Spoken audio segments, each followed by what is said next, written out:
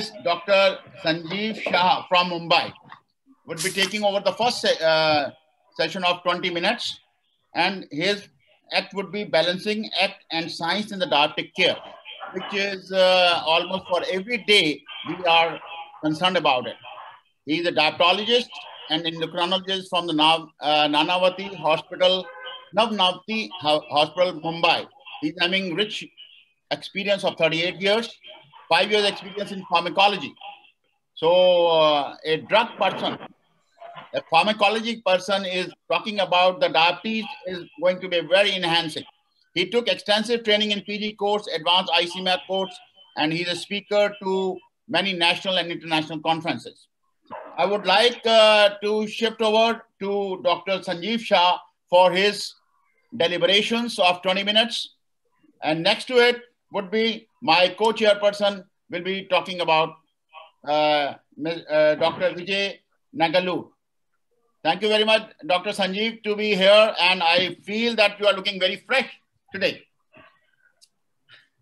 Thank you.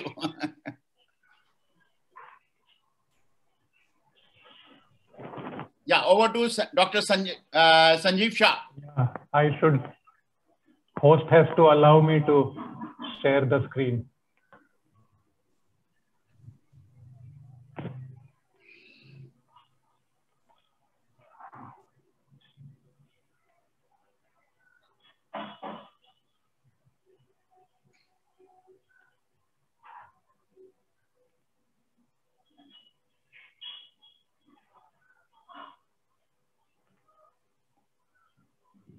The slides are visible?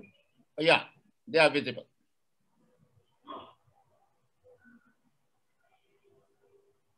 Dr. Banshi Saboo is also visible on your screen too. Thank you, Dr. Banshi Saboo and Diacon team for inviting me to share a new topic and a novel ideas on balancing the art and the science in diabetes care. Now, when we look at the development in science, we have moved from extensive research in basic science to multiple drugs undergoing clinical trials, risk factor calculation for complications management and prevention. We also had a large epidemiological data, observational data with kind of uh, EMR, which we have in the world. We have retrospective analysis and real world data. And as with pandemic and technology, we have now app-based care, which is emerging. So science has progressed significantly across all these eight domains. But if we look at the art of diabetes care, the knowledge and the patient education program are not up to the standard required. Physical activity, discipline, and dietary compliance in the hands of patient is far from optimum home glucose monitoring has not reached every single diabetic patient.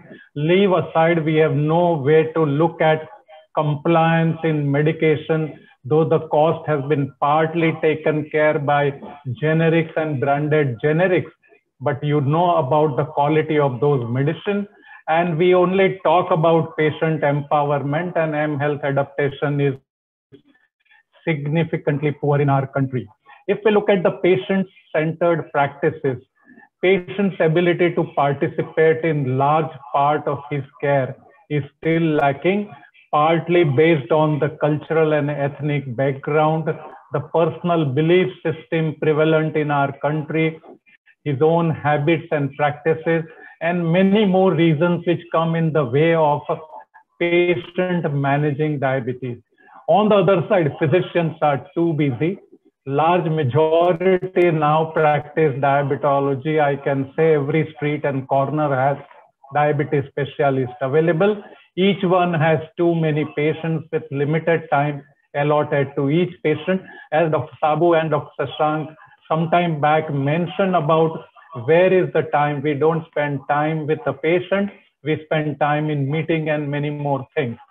There are still limited sources to manage all kind of compliance what is necessary from a patient. Now looking at the core part is what makes blood glucose level rise and Dr. fall. Sanjiv, can you show, i mean sanjeev bhai slide show show पर नहीं है. Can you do it on slide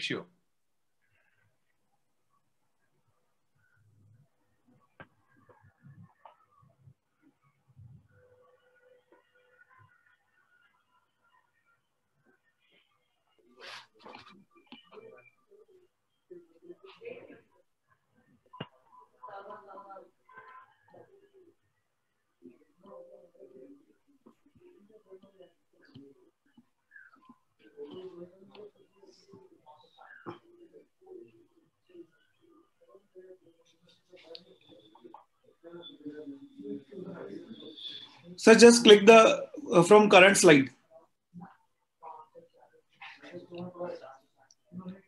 The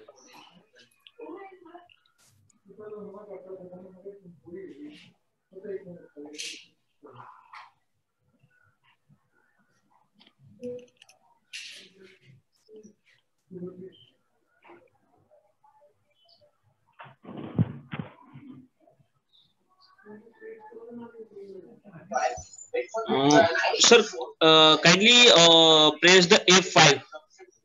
Only press F5. Yeah. So now it is perfect. Extremely important is the rise and fall in blood sugar.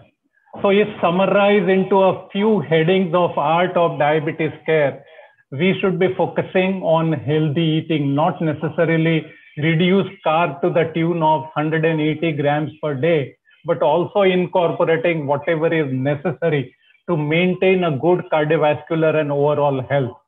Being physically active need not be going to a gym, but involving multiple kinds of physical activity on which plenty of papers have been published into few minutes every hour to few times and all kind of home-based activity which could be incorporated.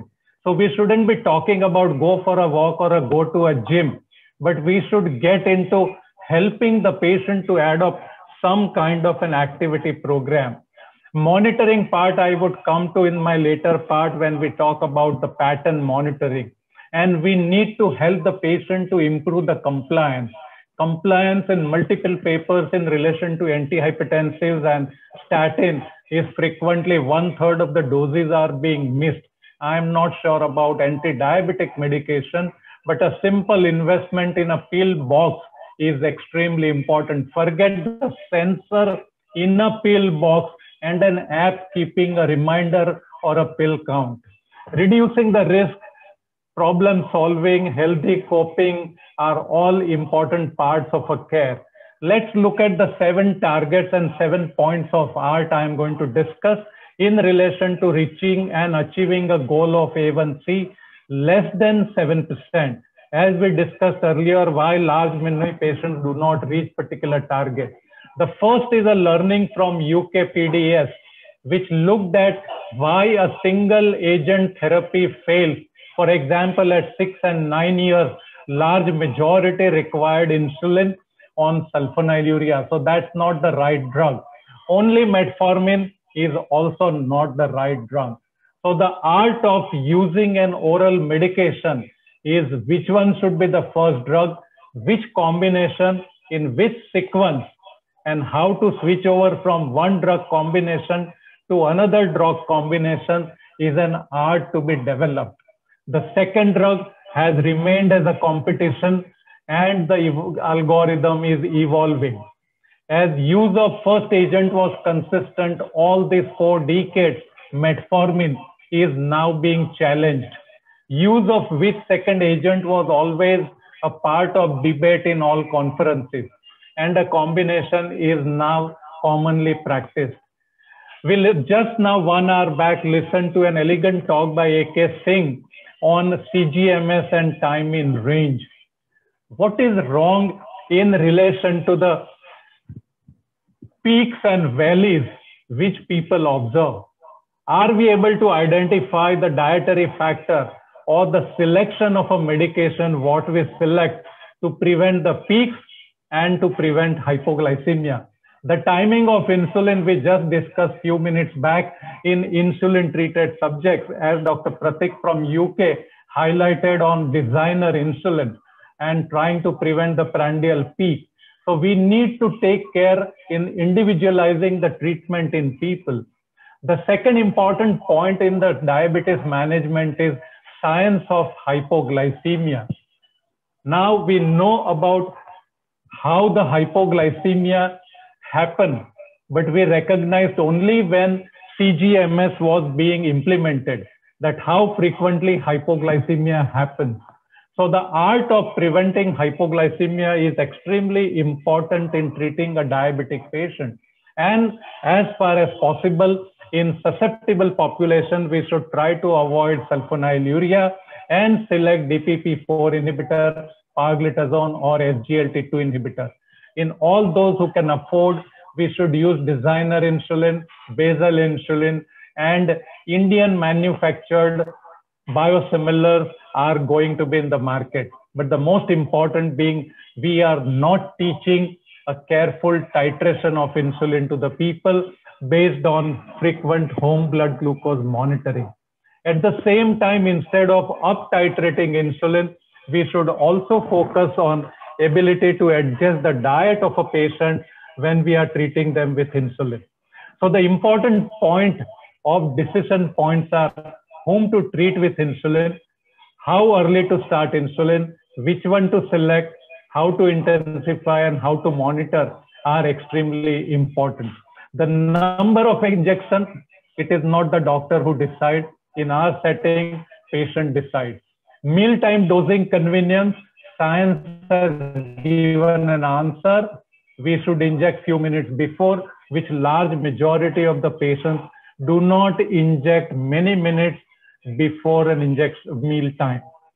Finally, in all this SU treated and insulin treated patient, point number four, extremely important is 360 degree view of daytime glycemia. You don't need an extensive CGMS.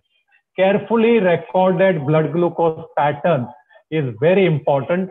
At the same time, to match data on carb intake, medication taken, physical activity, and an impact of stress. All this are to be matched with reading and a life event.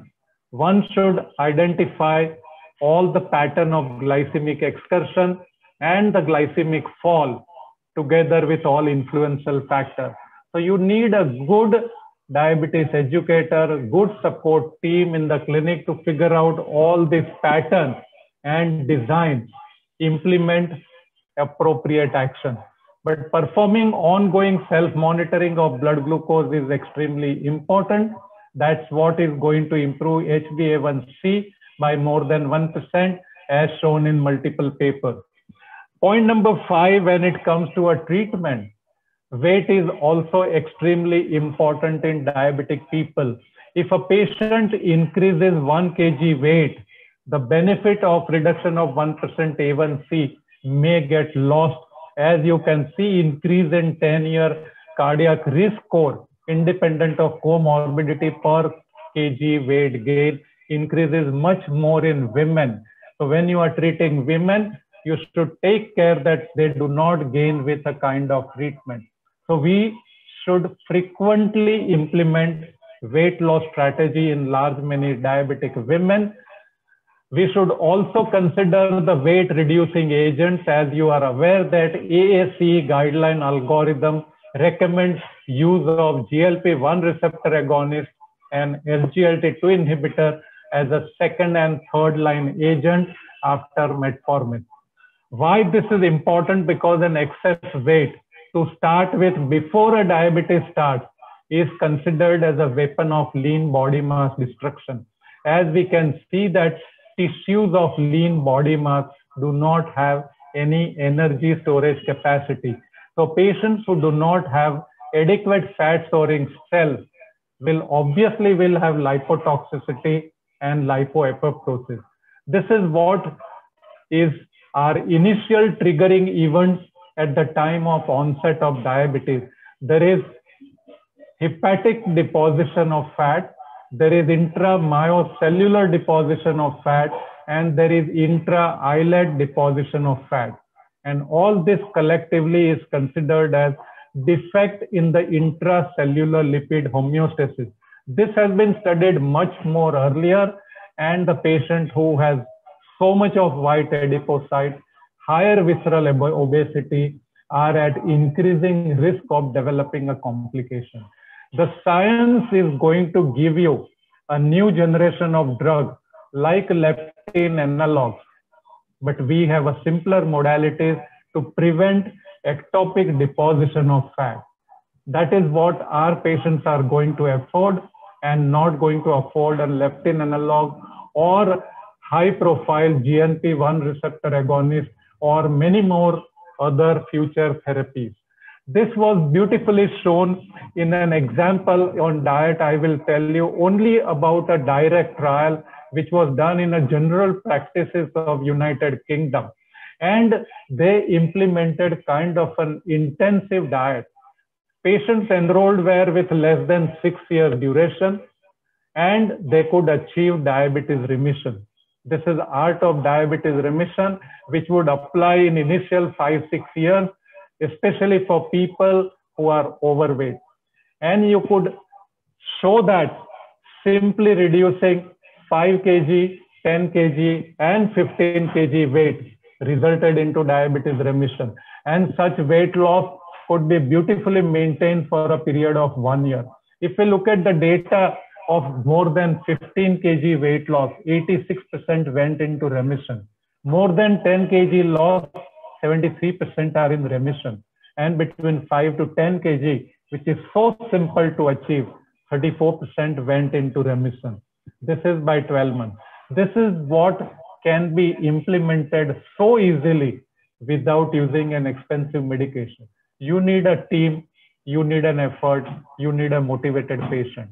How do we get patients motivated to do what we have learned from the science? Finally, in last two, three minutes, I would end up looking at cardiovascular disease as the commonest complication in diabetic people. Patients, almost 80 to 100% in diabetics qualify for treatment of lipid disorder. If we look at all multiple studies, Kausik Ray recently published a paper of a real life data on how the lipid intensification, lipid management is done. So large majority of the patients receive low intensity or moderate intensity statin. We fail to recognize higher risk in our diabetic people and many more qualify for higher intensity statin. So we have to be slightly more aware on achieving an LDL target. HbA1c target we keep on chasing in a diabetes clinic and frequently we get defeated because we do not have a desirable drug which reduces insulin resistance in a life of a patient. A third important parameter is hypertension how frequently we evaluate diabetics for end organ damage, how frequently we evaluate for LVH.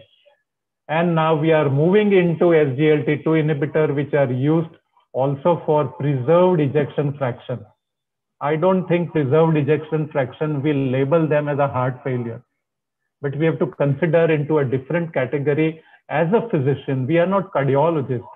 And so the hypertension requires a different management. I keep on listening to a lecture of Professor Venkatram repeatedly, and all experts across the world recommend using a triple drug combination for large majority of the diabetic.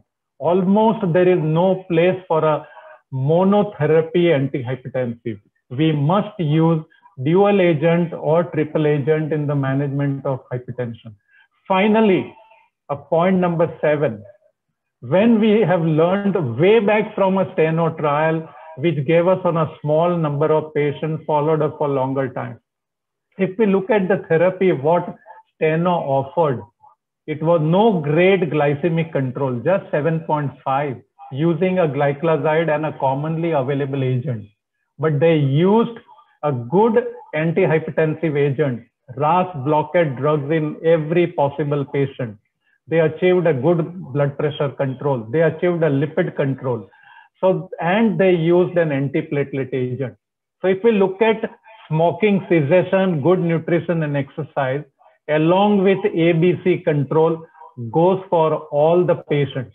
Now, how do we make this therapy patient compliant to therapy requires great amount of focus on education and the cost of therapy. These are to be considered much more. And now we have a SGLT2 inhibitor available at an Indian price, unique, matching with any other class of an agent. You will be able to use SGLT2 inhibitor more frequently for large majority of the patients. So if we use the basic fundamentals of practice and a care, what we have learned, but we implement more efficiently, we would be probably balancing what we have learned in science. We would be able to deliver as a diabetes care. It is no great challenge to implement a practice. You need a dedicated team. You need to convince the patient. With this, I would end here as my time is over.